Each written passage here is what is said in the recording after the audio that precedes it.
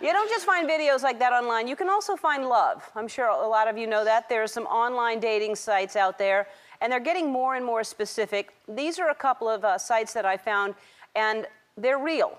They're not going to feel real, um, but they're real. The first one is a gluten free singles. I'm not making this up. It is a dating site. How picky do you have to be if this is the site? Mom, I met someone amazing.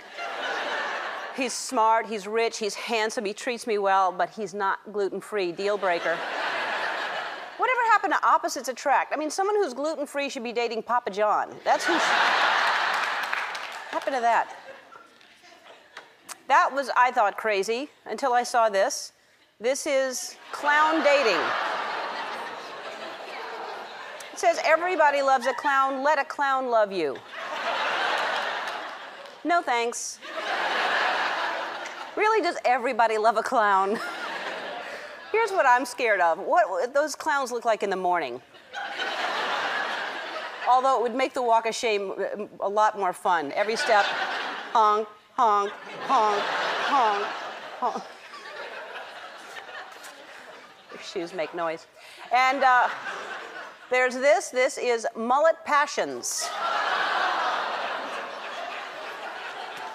This is a website for people who love mullets. Don't laugh. I had a mullet for a while, and I can tell you it's a lonely, lonely world. Gluten free, clowns for clowns, mullets. What's ha- what happened? I mean, what? Remember bars?